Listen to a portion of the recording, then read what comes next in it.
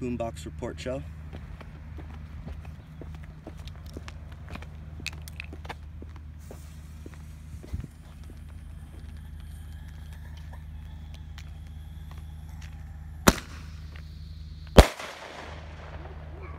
And yeah, that was a little salute.